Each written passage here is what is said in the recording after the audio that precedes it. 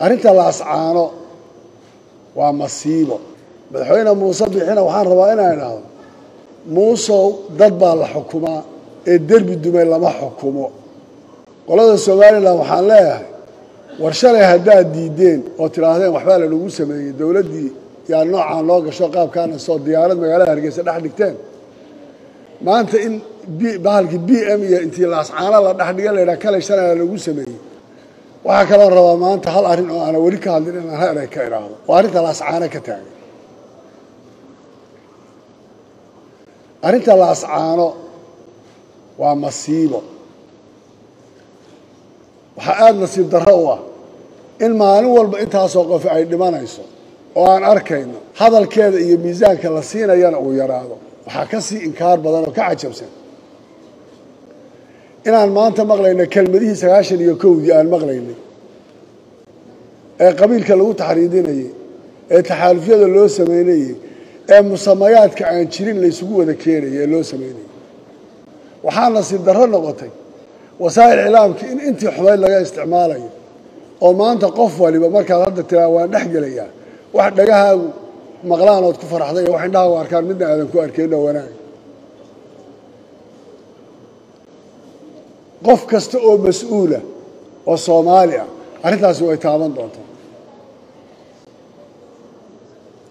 qolada somalilan waxaan leeyahay war shalay haddaad diideen oo tidhaahdeen waxbaa lanagu sameeyey dowladdii yaa noocaan loo gasho qaabkaana soo diyaarad magaalada hargeysa dhex dhigteen.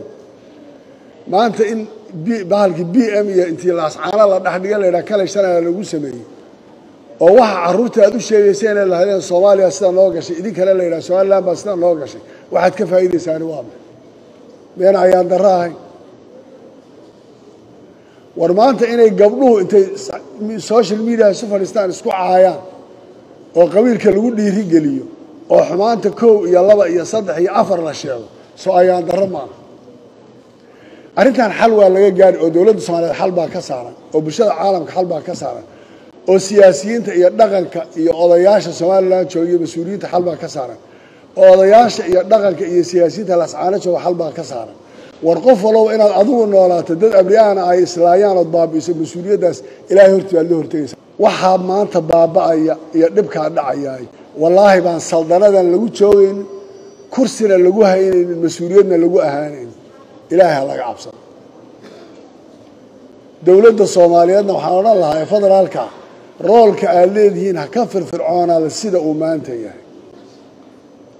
Madaxweyne muuse bixina waxaan rabaa inaan idhaahdo muusow dad baa la xukumaa ee derbi dumay lama xukumo. Hawshaas ma raba intaa in ka badan inaan sii isticmaalo. Dhexdeedii waxaa ka taan u jeedaa maanta ka dhacay burco hargeysa qalalaasaha kanaha garxajisa kanaha warawara kanaha harba jecla this is what's going on maamulada kale aan haddaan dib u dhigto somaliland de waan kasan garanayna mashruuc wuxuu ahaa runtii aan ku dhisnayn xaqiiqada. Mashruuc mashruuca gooni goosadka ah oo somaliland ka go'aynaa. Wax shaqeeya maaha. Adduunkuna ma ma taageerayo illusion bay ahayd iyo caadifad wax go'aan lagu gaaray. Dad badan oo asana markii ay dalka qabsanaysay go'aankooda maaha in dalka la gooy ka kala gooyo waa la socotaa dastuurkoodana kuma jirin. Cabdiraxmaan tuur allah naxariistee wuu diidanaa. Markii la khasbeen muxuu yihi mataqaanaa wuxuu yihi haddaad i khasabteen waa yeelaya waad ku raacaya. Laakiin wuxuu yihi waa dheeranaysaa waa dhib badanaysaa. Tii baa maanta taagan. Dhexdeedii waxaa ka taan u jeedaa maanta ka dhacay burco hargeysa qalalaasaha kanaha garxajisa kanaha warawara kanaha harba jecla this is what's going on. Because mashruuc wuxuu ahaa runtii aan gur fuutinba ku taagnayn? Ma fahamtay? Haddii dee sool sanagay caynna dee ay yidhahdeen anagu kuma jirno. Beritan waxaa ohanaysa de awdal baa waxaa ohanaysa anagu kuma jirno marka reer keliya de marka dowlad gaara ma noqon kara ila tahay runtii